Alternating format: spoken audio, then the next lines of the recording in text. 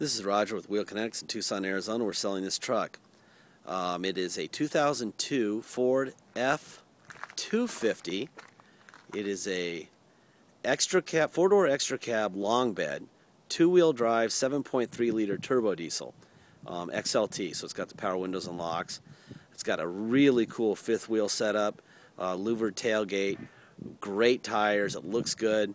Um, it was a theft recovery we purchased from Van in Van Nuys um, directly from an insurance company. They sold it on a salvage title. Um, it was a bait car the cops used, and they used it so many times that they bent the steering column every time the thieves would steal it. They even had written on the side of a bait car, and they had a bunch of wiring under the dash to probably to track it and to disable it. Um, so we took we put had to put a new column in because they the every time they put their, their tools in there to break the column to steal the truck, they bent the column a little bit more. So we had to put a brand new uh, steering column in actually a used, I shouldn't say brand new, a used steering column in. Um, and we had to replace that passenger rear door glass, the extra door glass. Uh, and that's it. Uh, beautiful truck. Uh, I imagine they use this as a bait car because it has some eyeball. And uh, they caught people with it. They actually had written uh, on the side of the car, bait car. so, and it was pretty obvious that that's what it was. Anyhow, there's a few little cosmetic things like, you know, you could use the right color touch-up paint on this little thing right between my fingers here. Um, other than, gosh darn, it's a really pretty truck. Um, obviously, whoever owned this truck towed with it. Um, and there's some camper clamps there, or whatever you call them. I'm not the big tow expert here, um, but uh, it looks to me like this is the perfect tow vehicle. It has uh, air ride. It has uh, Rancho shocks.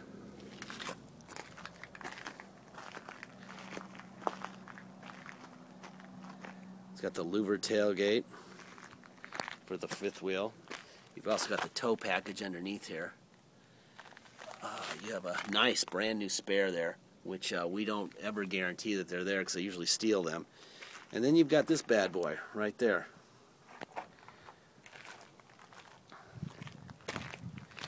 It is a Reese hitch. Uh, maximum gross trailer weight 20,000 pounds maximum pin weight, That would be 5,000 pounds. I'm sure the people who are, know about this stuff and want this know all about this item. So I'll just show you that and talk a little bit, and you're probably laughing because I have no clue. but I do know trucks. I do know uh, good running trucks, uh, and this is one of them. Uh, the tires all the way around it are you know 80 90% tread and it's got a brand new spare um, it looks great. Runs great. Let me open the hood for you real quick here. Make sure all the correct Ford stamps are where they're supposed to be. All right let's see. You got a Ford battery motorcraft battery. There's your Ford stamp on the passenger fender. There's your Ford stamp on the core support on the passenger side core support right there. Here's the stickers that belong there. It's nice to see that. So what I don't see are the tools here. Um, so you do have a spare, but you do not have the tools. There's your stickers there. There's another Ford stamp right there. And let's see. La di da di da di da da it would appear that this fender has been replaced. It's beautiful, beautiful work, but yeah, I mean, gosh, the paintwork usually you can tell. But yeah, boy, I don't know. Whoever did this did an unbelievably good job because there's no sanding marks or no floaties in the paint or anything. That's perfect. But uh, I would say that the driver fender has been replaced.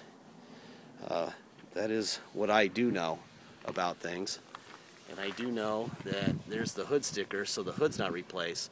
So at some point in this car's past, they did replace the driver fender. We did not do that. This is exactly how it came to us. Um, but I would hire this guy to paint cars for me in a millisecond. That's outstanding work.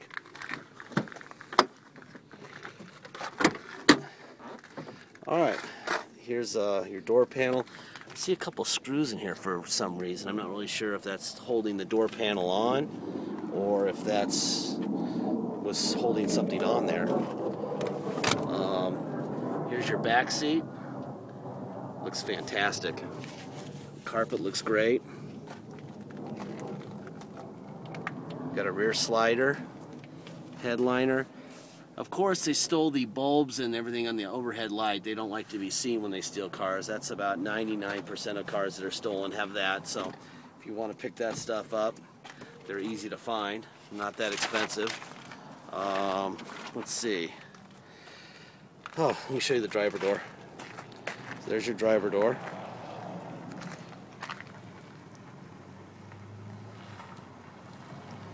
Gross vehicle weight, blah, blah, blah. This is where your VIN sticker was, or is. It Kind of looks like someone tried to scrape it off or something there. They weren't successful. Got the power window switches, door panels look great. The interior of this truck looks fantastic. Very light wear on this bolster, but it's not it's not going to tear through anytime soon. Seat and fabrics look looks great. Let's see what else we got here. Wow, this truck is really pretty. This is a nice truck. Let me look under the mat, see if there's anything hidden here. Nothing. There's your uh, air suspension gear. Again, this is not my specialty, but it says airlift on it, and it's got some gauges and whatever, and that's for you guys. Definitely not a professional in that area. Let me show you the roof real quick. There's the top. And it looks just like a top. Nothing going on there.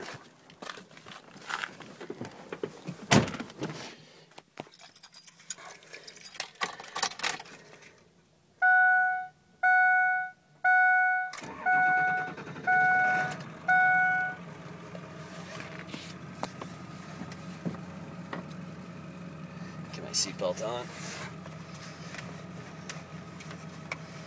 All right, let's see what do we have? 144,003, 144, 431. 144,431 miles. Here's your gauges. We've had this thing running for maybe, I don't know, 10 or 15 minutes. 10, eh, about 10 minutes. Um, it's kind of a cool day.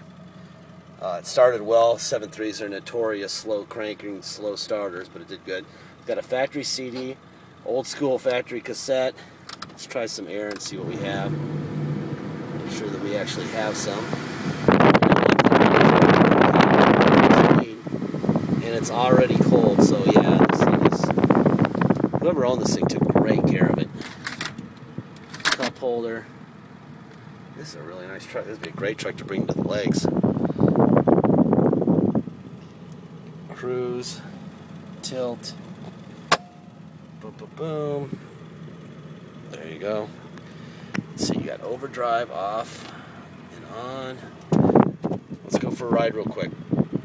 Anyway, this is a fantastic truck. Uh, you know, we walked along with it.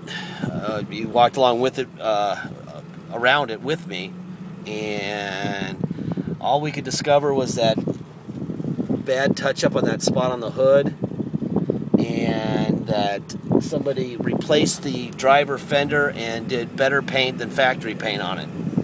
Um, I also see a little chip in the windshield right there. It's out of the line of sight, but it's right there. Anyway, we're on the worst roads in the world. Our taxes here are 9.1%, but it's like you're in Bolivia when you're here, which is just, you know, and they want to raise the tax again to fix the roads, which is the last last time they went from 8.1 to 9.1, it was to fix the roads. See, when they raise the taxes, they never use them for what they say they're going to use it for. Huh. Anyway, um, if you come here and want to drive this thing home, it's got to have a restored salvage title, so we have to inspect it. Um, we do that for $200. We go down there at 6 in the morning and sit with it for four or five hours at Motor Vehicle. And they inspect it. They give it a level 3 inspection, it's called. Um, take the level 3 inspection and the salvage title motor vehicle. Motor vehicle can then give us a restored salvage title. You'll get a copy of the level 3 inspection along with your restored salvage title. Um, and you bring that into your motor vehicle and uh, it helps if you need another inspection in your state. Um, it's very good to have one in our state also. Um, but usually you just go right in there and just take your restored salvage title and they give you their version of that in their state. Uh, rebuilt salvage or uh, rebuildable or whatever. Anyway, I'm going to start from scratch here and start from zero.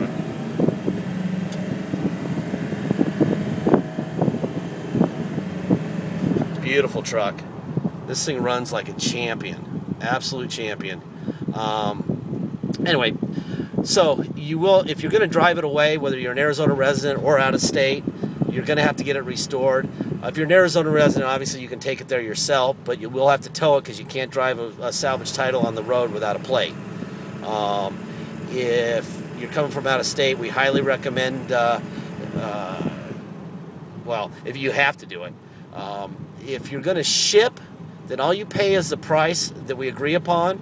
You pay by wire, um, pay that price, and then you can add $200 if you want us to restore it before it goes on the shipper or not. Um, and that's it. Thanks very much. Uh, please make sure you get your deposit in. And if you don't get your deposit in, we don't have a deal. We've had a lot of people doing that lately, where we sell the vehicle. Um, you know, to somebody else who actually comes in with the cash before the deposit is given by the other person. Um, we had that happen on eBay a couple days ago, and a guy, you know, uh, makes an offer of sixteen thousand on a Dodge truck we have, and he waits seven hours to make the uh, deposit. Well, guess what? In that seven hours, someone came in, saw what a smoking deal he was, you know, that that truck was, and gave us sixteen thousand in cash. Well, we're not waiting for him to give us $500 deposit when we have 16,000 in cash sitting in front of us. So, that guy has no reason to be angry at, anyone but himself. And the new owner of that truck is very happy, and we don't want anyone mad. So please be ready to do a deposit. Don't even bother uh, making an offer if you can't make a deposit, you know, quickly because I don't want to. I don't like that conversation. We sold the truck that you thought you were buying because you didn't put a deposit on it. All right. Um, anyway, that's all. Thank you very much and have a great week.